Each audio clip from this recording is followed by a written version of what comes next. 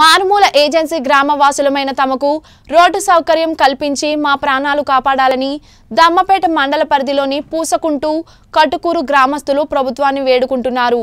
అనాది నుండి మారుమూల అటవీ ప్రాంతంలో నివాసం ఉంటూ వ్యవసాయం మీద ఆధారపడ్డ గ్రామాలు అవి. ఇప్పటికీ ఆ ప్రాంతంలో కనీసం మౌలిక వస్తువులు లేకపోవడంతో స్థానికులు మండిపడుతున్నారు.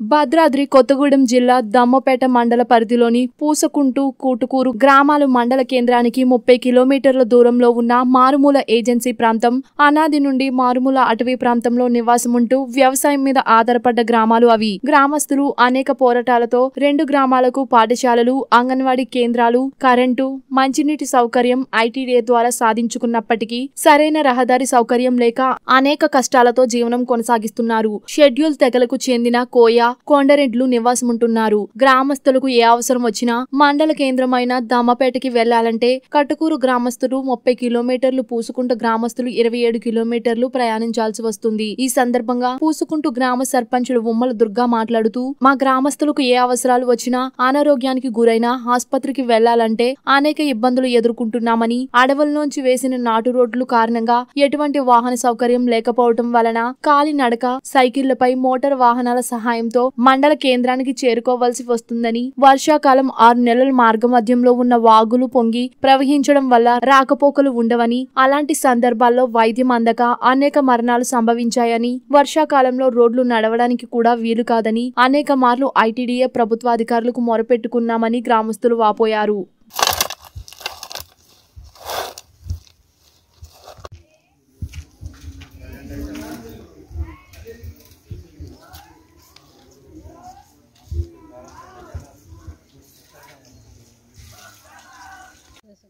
గ్రామంలో సర్పంచ్ అంటున్నాను నేను మాకు రోడ్డు శాంక్షన్ అయిందని అంటున్నారు కానీ అది శాంక్షన్ అయిందని అన్నారు. కానీ ఇంతవరకు రోడ్డు పోయలేదండి. మాకు ఏ ఇబ్బంది వచ్చినా మేము దాంపేట మండలం వెళ్ళాలని అంటే నడిచి వెళ్ళాలి. అలాగే మాకు ఆరోగ్యం బాగలేకపోయినా కొట్టివారు కూడా హాస్పిటల్కి వెళ్ళాలి. మరి రోడ్డు శాంక్షన్ అయిందని అంటున్నారు కానీ అది రోడ్డు పోయేటం లేదు. అదే మాకు పెద్ద సమస్యగా ఉంది. వర్షాలు వచ్చినా బయటకు వెళ్ళలేము.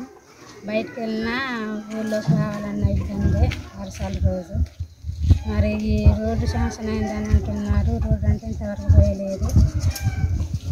ఇప్పుడు గ్రామంలో నివసిస్తున్న గ్రామస్తుని నా పేరు ముల్ల రాజిరెడ్డి గత కొన్ని సంవత్సరాల నుంచి ఈ రోడ్డు లేక ఎన్నో ఇబ్బందులు పడుతున్నాం ఈ ఇప్పుడు రోడ్డు శాంక్షన్ అయిందని రెండు వేల పద్దెనిమిది రోడ్డు శాంక్షన్ అయిందని చెప్పి ఊళ్ళో రెవెన్యూ లేని వారికి